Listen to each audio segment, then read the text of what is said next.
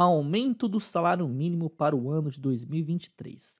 No vídeo de hoje, a gente vai falar sobre o que está acontecendo com o nosso salário mínimo e as previsões para ele. Bom, o Congresso aprovou um salário mínimo de 1.294 para 2023. O valor representaria aí um aumento de 6,77% sobre o salário mínimo deste ano. E qual que é o valor do salário mínimo desse ano? Então, pé de pano, pesquisando aqui no Google rapidamente, né, a gente consegue ver que o salário mínimo de 2021 é R$ 1.212, né? Aí você teria que fazer o seguinte, né? Vou pegar a calculadora aqui. 1.294, que é o valor que o Congresso aprovou aí para 2023, e diminuir 1.212, né? Menos 1.212.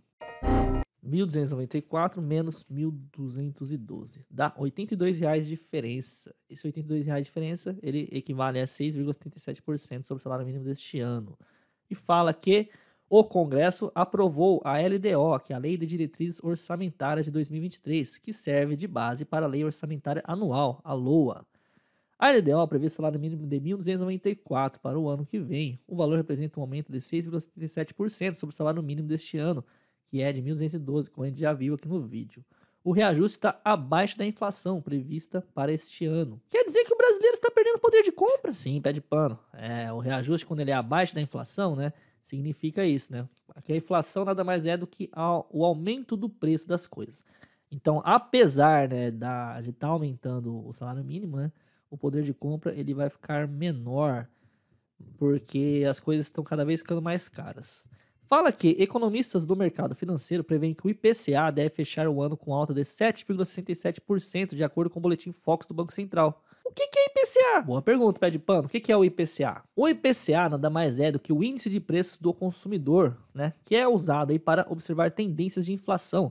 É calculado com base no preço médio necessário para comprar um conjunto de bens de consumo e serviços num país, no nosso caso, o Brasil, comparando com os períodos anteriores. Então, o IPCA nada mais é do que um jeito assim de você calcular aí e ter uma noção de como que está o preço do consumidor, a inflação. Então você tem uma noção aí através do IPCA, pé de pano.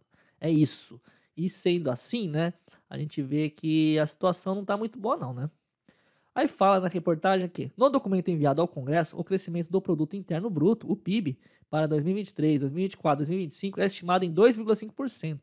Pelo menos nosso PIB está crescendo. Os esquerdistas não gostam que o PIB cresça. Eles não gostam, principalmente porque é, muitas coisas, apesar dos problemas da área da saúde que a gente tem no Brasil, né? Apesar de tudo isso, uh, o Paulo Guedes junto com o Bolsonaro tem feito assim um trabalho bom, né? Porque está vivendo um cenário caótico realmente na economia mundial, né?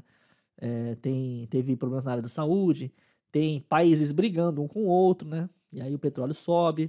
Então é isso que acontece, pé de pano. Aí também a gente vê aqui, né, na reportagem, que a previsão da taxa Selic é de 10% em 2023 7,7% em 2024 e 7,1% em 2025. O que é taxa Selic? Bom, com uma rápida pesquisa, pede pano, a taxa Selic é a taxa básica de juros da nossa economia. Ela serve como referência para o cálculo da maioria dos juros. Com o aumento dessa taxa, todas as modalidades de crédito ficam mais caras. Por outro lado, quando a taxa básica cai, as despesas dos bancos e das financeiras ficam mais leves, o que leva a uma oferta de crédito mais barato no mercado. Então a taxa Selic é a taxa básica de juros da nossa economia, né? Sendo aqui Sendo assim, né, quando ele fala aqui na reportagem que a previsão da taxa Selic é de 10%, ele está falando sobre os juros, né, que é em 2023. Tende a diminuir, né, em 2024 para 7,7% e 7,1% em 2025, dando uma linha de crédito, né, facilitando os empréstimos, onde você vai pagar menos juros. Aí com você podendo pagar um empréstimo mais barato, né, é, você pode pegar um empréstimo para fazer um investimento, pé de pano. Quem sabe você não pode abrir a sua loja, você pode vender coisas para ganhar dinheiro. É uma ótima oportunidade, né? Já que o YouTube tirou o dinheiro da gente. é verdade, pé de pano. A gente tá trabalhando de graça, né? A gente tá pensando aqui em talvez até abrir um Pix aí para o inscrito que queira ajudar, né? Aí fala que os parlamentares tornaram obrigatória a reserva de recursos para o orçamento secreto e abriram a possibilidade do legislativo definir qual projeção usar para a inflação que corrige o teto de gastos. A regra que limita o crescimento das despesas do governo. Na Câmara foram 324 votos a favor e 110 contra. No Senado, o placar foi de 46 a 23. Então é isso, pessoal. Aí fala que, é, por outro lado, a oposição e senadores independentes apontaram que suprimir esse trecho da proposta não acabava de vez com a obrigatoriedade do orçamento secreto. Esse tal de orçamento secreto, eu não vou nem entrar é, muito nesse tema aqui, né? Porque Se é secreto, como que eles sabem, né? Então já entra por aí, né? Já que a determinação para que o governo reserve recursos na LOA para pagar essas emendas foi mantida. Os partidos que orientaram seus bancadas a votar contra foram PT, PCdoB, Novo, Rede, PSOL e Podemos. Sempre os esquerdistas votando contra o aumento. Sim, Bad Bano, repare que no caso eles querem aumentar o salário mínimo, né? E os esquerdistas não querem que aumenta, né? Mas quando fosse para, por exemplo, vamos supor, hipoteticamente fosse possível diminuir o salário mínimo, aí sim, né? Afinal, imagina se diminuísse o salário mínimo com o Bolsonaro no poder, né? O uh, que, que não seria disso aí, né? Já pensou? Para ele seria muito bom, né? Porque o Bolsonaro perderia popularidade nessa situação hipotética absurda, né? Aí fala, absurda sim, porque não pode se baixar o salário mínimo, né? A LDO também autoriza o presidente da Comissão Mista de Orçamento, o deputado Celso Sabino, do União, a fazer indicações das emendas do orçamento secreto. Até então, apenas o relator da LOA, que neste ano é o senador Marcelo Caso, MDB, tinha essa prerrogativa por meio do orçamento secreto revelado no ano passado. Esse que é o mais legal, né? Por meio do orçamento secreto revelado no ano passado.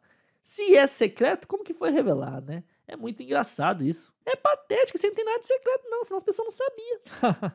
Ai, meu Deus, é, muito, é muita verdade, pé de pano. Uh, por meio do orçamento secreto, que não é secreto, né? Revelado no ano passado pelo Estadão, o governo Bolsonaro distribui verbas a aliados, sem transparência em troca de apoio parlamentar.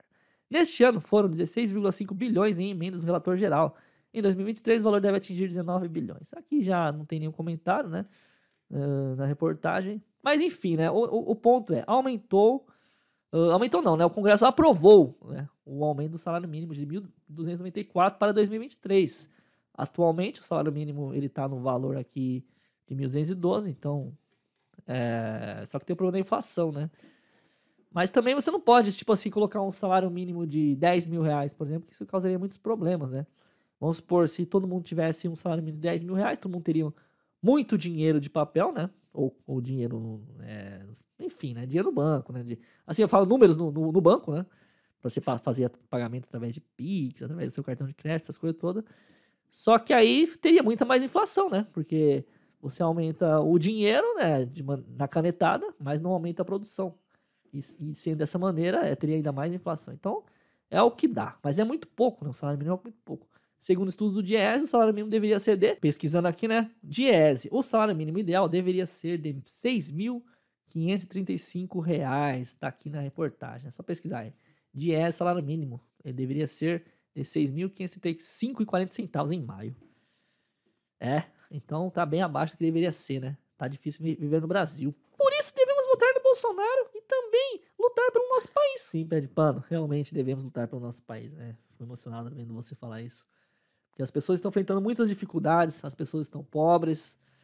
É, não tá fácil realmente, sabe? Não tá fácil. É, e tipo, a gente que vive na classe média, né? A gente até tem assim que comer, tem internet e tal, né? Eu tava com a minha monetização do YouTube até pouco tempo.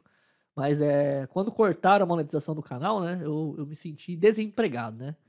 E aí é uma sensação bem ruim mesmo, né? A gente vê que que a gente está num barco chamado Brasil, e se o país não vai bem, né, seja na questão econômica, seja na questão de você ter liberdade de expressão, é, vai ruim para todo mundo, né? Então não podemos que deixar que esse país vire uma Venezuela ou qualquer outro país aí de regime duvidoso, para dizer assim, né? É, então é isso, pessoal. O Congresso aprovou aí um aumento. Eu gostaria que você comentasse a sua opinião sobre isso. Uh, quer acompanhar mais vídeos do Pé de Pano? Inscreva-se no youtube.com barra patinha de pano.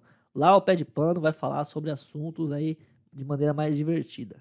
Aqui, eu e o pé de pano, muito, às vezes somente eu, né, quando o pé de pano puder gravar, vamos falar aí sobre assuntos de economia e que afetam a nossa vida, né?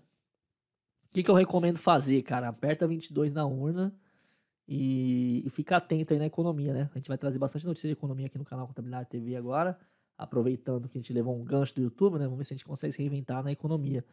E, e dá dica também, né? Existem várias maneiras de assim, ganhar dinheiro, né? Não é só através do YouTube que a gente pode ganhar dinheiro. Tem, como eu vi, uma menina empreender, empreender assim, é, vendendo paçoca, dizendo que é sonhar, sonha ser uma empreendedora. Uh, tem maneiras assim de você ganhar dinheiro com comércio, né?